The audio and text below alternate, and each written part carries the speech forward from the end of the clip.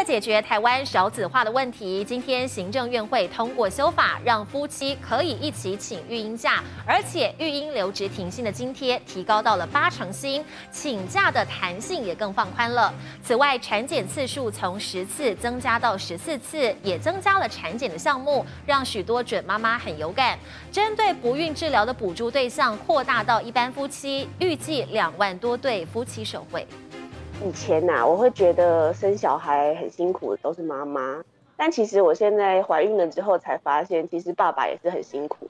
怀孕期间，准妈妈一人吃，两人补，准爸爸吃苦当吃补。为了减轻准爸妈的负担，行政院会通过修法，补助产检次数从十次提高到十四次，增加产检项目，包括妊娠糖尿病、贫血筛检和两次超音波。产检假从五天提高到七天。至于育婴留职停薪，原本规定一次请半年，调整到一次至少请三十天，放宽弹性。今天更。从六成新提高到八成新，让新手爸妈很有感。我觉得这个部分蛮有感觉的，因为其实如果是六成新提高到八成新的话，那这样其实我会考虑就是请先生来请育婴假，因为他的薪资其实是相对比较高的。不止孕检有补助，针对不孕治疗补助扩大到一般夫妻，首次申请上限十万元，预计两万对夫妻受惠。怀孕。到养小孩相关必要的政支出，政府都全力负担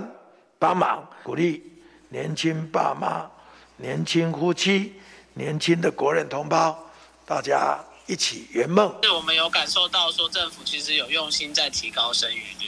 宝宝还在肚子里，补助就帮你穿本本。政府力推安心生，国家养，让年轻夫妻敢婚敢生，开心迎接新生命的诞生。记者林先生吴香三的报道。